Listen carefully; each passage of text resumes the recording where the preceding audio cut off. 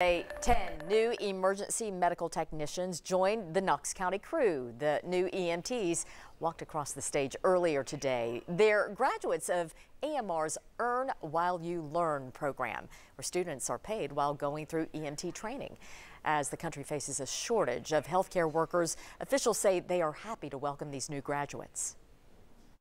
In a time where, where healthcare shortages and, and staffing is a, is a real problem, uh, we're able to continue to, to kind of bring in 10 to 12 employees every every few semesters into our Earn, through our Earn While You Learn program to maintain adequate staffing uh, on the streets for our for our for our community. Some of those EMTs will be on the road serving the community as early as tomorrow.